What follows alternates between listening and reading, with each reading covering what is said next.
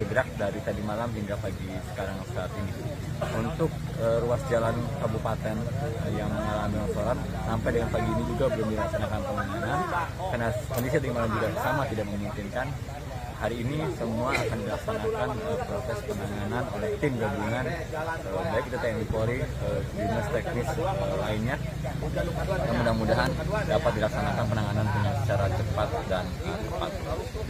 Demikian informasi yang eh, kami dapat sampaikan untuk sementara. Salam tangguh, salam Indonesia, Anda bermenjalankan tangguh.